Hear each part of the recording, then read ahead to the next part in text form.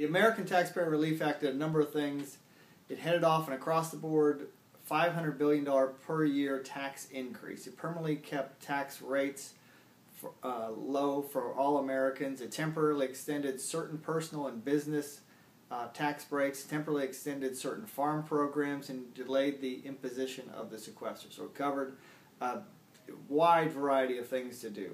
Uh, it kept individual rates low, uh, kept dividends rates low, kept capital gains rates low, kept the estate tax low, and it set those rates in permanent law.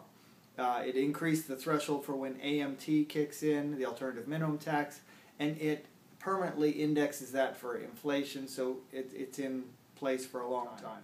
Uh, kept in place uh, tax credits for adoption, employer provided health care, uh, tax credits for hiring uh, veterans uh, bonus depreciation, those sorts of things. So it takes a number of expiring tax provisions, extends the big ones on rates, on dividends, on capital gains, on the death tax, extends them permanently.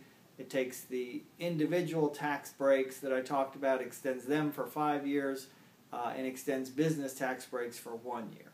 Uh, lower rates for income, capital gains, dividends, as well as accelerated depreciations were things that were highlighted in a survey that we did uh, in December as being very important to the construction industry. All of those were taken care of in this bill. Uh, all of them but accelerated depreciation were made permanent too. So, so contractors are going to know what the tax code adds to their overhead. AGC um, members should be glad that, that they were included in the bill and should be happy that this bill was actually passed uh, sit down and look at this bill in its entirety, see what it does to your particular company, because that's the only way you can really gauge whether it it answers questions that you need answers and provides benefits that are going to help you make good decisions down the road. Uh, the CFOs and CPAs that I've talked to that are familiar with this legislation think that it, it, it is a net positive for the industry uh, and we'll see benefits going forward.